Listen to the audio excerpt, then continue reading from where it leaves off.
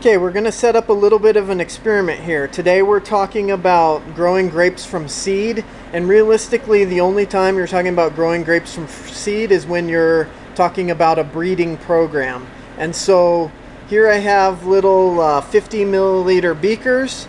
Uh, I'm going to put about 40 milliliters of seed in each one.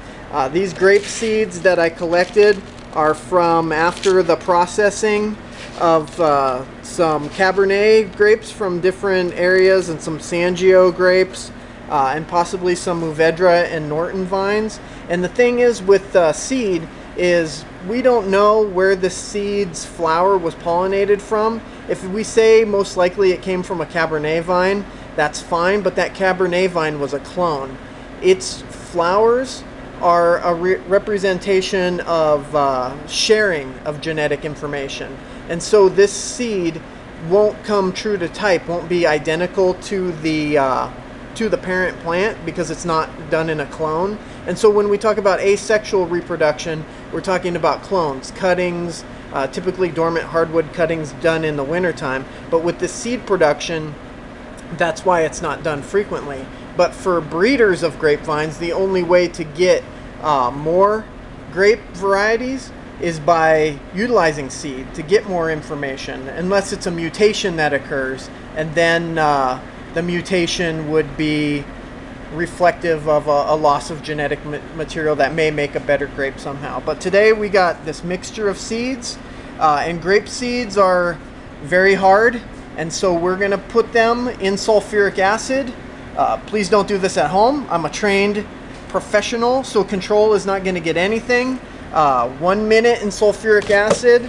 We're gonna take about 40 milliliters of seeds, and that's probably about 200 seeds in there. We're gonna do one for five minutes and one for 10 minutes. We're gonna put the uh, sulfuric acid onto those, let it sit for the appropriate amount of time, and then I'll show you uh, going into the tray, planting the grape seeds, and then I'll do a follow-up with the success that we had. This is called scarification.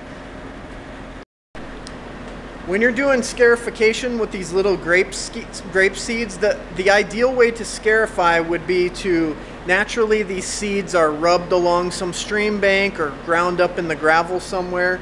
But because we're plant breeders now and we're planting seeds, we're not just planting a few, we're planting thousands of seeds and then we're going to evaluate them. So the easiest way to do thousands of seeds is get some way of breaking down this very hard seed coat.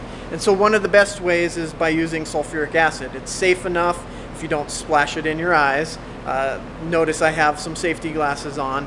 And then uh, we'll let these sit for different amounts of time and then we'll determine how much time is appropriate to break down the seed coat. Too long and you'll kill the seed. Not long enough and it has no effect then on the seed. So we have the control one minute, uh, five minutes, and 10 minutes.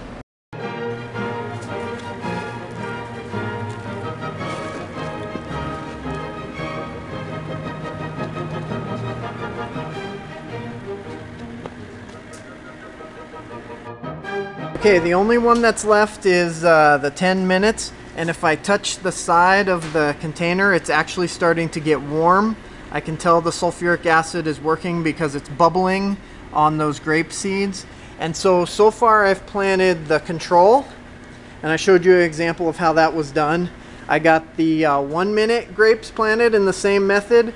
And then I got the five minutes. So different exposures to sulfuric acid has to do with how hard the seed coat is. And the word for that is scarification. So in one more minute, I'm going to take the 10 minute grapes off, plant those seeds in this container, and then I'll put them here in the greenhouse under uh, spray, which comes on twice a day. Kind of a convenient area for growing things.